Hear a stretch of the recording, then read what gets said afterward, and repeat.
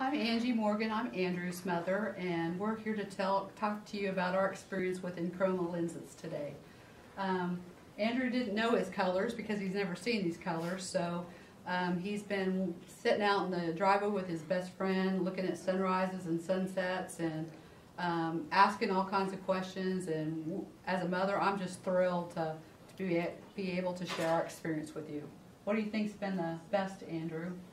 Uh, besides, you know, just seeing colors, um, that's it, really. that's what they're for. Uh, I would say that probably my favorite thing is probably seeing pinks and purples. That just being able to actually see what they look like is is crazy. I, I never knew those colors existed. You know, they were right there the whole time, but never knew they were there. Yeah. Well, I was a little bit skeptical when I saw the Enchroma advertisements, the testimonies and stuff. So we actually took about an eight-hour out-of-state trip to get his first pair of Enchromas, just so I could experience and, and see if they were really going to work, because that was a lot of money out of our pocket, and I wanted to make sure that we weren't going to get ripped off. So initially, you know, you see these kids that get the glasses and they're in tears and they go to their knees and stuff, but Andrew's reaction was completely opposite of that. He was very quiet, very reserved. Um, I kept assuring him that we didn't make the eight-hour trip for nothing. Um, it was only until we pulled back up to the eye retailer that um, he started questioning me about colors.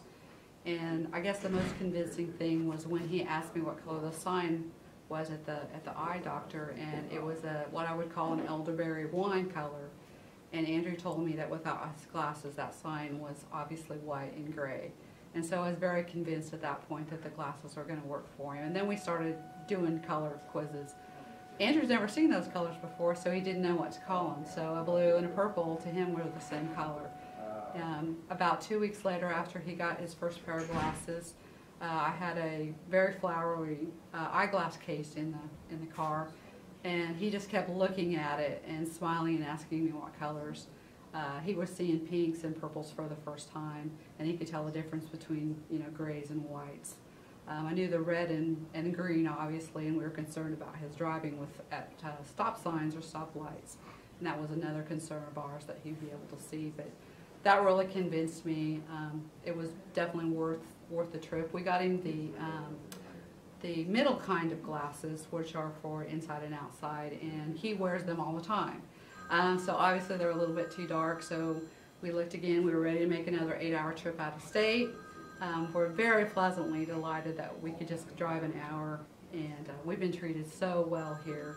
Um, ironically, the day that we were coming over here, uh, it was very foggy and it's winter, and um, Andrew said, it doesn't matter what, if I have my Enchromas on today or not. And I'm like, well, what do you mean? He's like, it looks the same today with, with or without them. I almost cried as a parent because it was depressing. Um, the road was blackish gray, the, the grass on the median and on the sides was brown, and it was white.